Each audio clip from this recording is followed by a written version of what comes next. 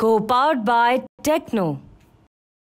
दिल्ली के सीएम केजरीवाल के इस्तीफे के सवाल पर कांग्रेस नेता अब बच रहे हैं। वहीं हरियाणा में गठबंधन को लेकर कांग्रेस नेताओं ने आम आदमी पार्टी को लेकर चुप्पी साथ रखी है।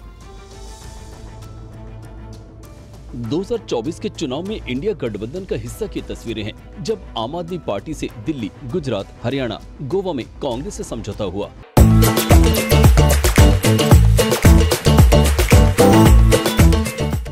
लेकिन विधानसभा चुनाव में हरियाणा में गठबंधन की कोशिशें नाकाम हो गई एक सीट लेफ़्ट को देखकर बतौर नेता प्रतिपक्ष राहुल ने सबको साथ लेकर चलने का संदेश दे दिया, लेकिन दूरियाँ बढ़ती दिख रही हैं।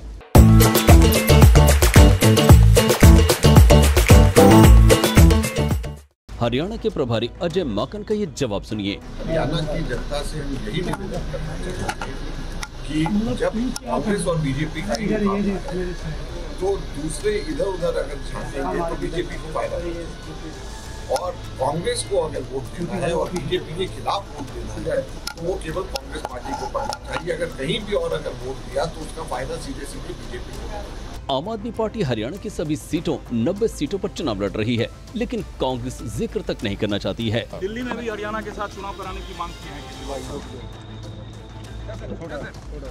है हरियाणा के मुख्य पर्यवेक्षक अशोक गहलोत ने भी मामले पर चुप्पी साध रखी है। इधर, दिल्ली में केजरीवाल के इस्तीफे की पेशकश के सवाल पर भी महिला कांग्रेस के अध्यक्ष अलका लांबा ने भी पार्टी लाइन का हवाला देकर बात को टाल दिया। इन सभी सवालों का जवाब लोकतंत्र आपका हक है, आप पूछ रहे हैं। और, लेकिन आज मैं आप सबसे माफ़ी चाहूँगी। आज महिला कांग्रेस के स्थापना के 40 वर्ष पूरे हुए मेरा जो आज मुद्दा है, वो सिर्फ़ महिलाओं के इर्द गिर्द है। कुल मिलाकर सियासत सीधी है। केंद्र में मोदी के खिलाफ इंडिया गठबंधन एकजुट है। राज्य में मजबूरी में आमने सामने आना पड़ा तो पर्दादारी रहेगी। आम आदमी पार्टी के मुखिया अरविंद केजरीवाल ने दो दिनों में दिल्ली के मुख्यमंत्री पद से इस्तीफा देने का कल ऐलान किया। सियासी सरगर्मी के बीच अरविंद केजरीवाल के इस फैसले पर अन्ना हजारे ने अपनी प्रतिक्रिया दी है। सुनिए उन्होंने क्या कहा। मैं पहले से ही बता रहा था राजनीति में नहीं जाना। समाज सेवी अन्ना हजारे ने ये बातें दिल्ली के सीएम अरविंद केजरीवाल के लिए कही है। अन्ना ने कहा कि उनके दिल में क्या है उन्हें नहीं पता। कई साल हम लोग साथ में थे उस टाइम बार बार मैं कह रहा था कि राजनीति में नहीं जाना। समाज सेवा ये अपने जीवन में आनंद देती है आनंद में डूबे रह रहा हूँ लेकिन उसके दिल में नहीं लगा। वो बात आई नहीं।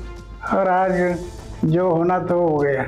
मैं वो तो उनके दिल में क्या है, मैं क्या जानना दरअसल दिल्ली के सीएम ने दो दिनों में इस्तीफा देने का ऐलान किया है। इस बीच मनीष सिसोदिया के घर पर केजरीवाल के इस्तीफे को लेकर अंतिम रणनीति को लेकर दूसरी बैठक हुई। केजरीवाल से विधानसभा स्पीकर रामनिवास गोयल ने भी मुलाकात की।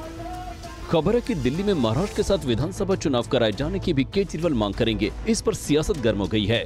स्पीकर ने कहा कि विधानसभा सत्र सितंबर में ही बुलाया जाएगा, लेकिन दिल्ली का अगला सीएम कौन होगा, इस पर चर्चा नहीं हुई by Techno.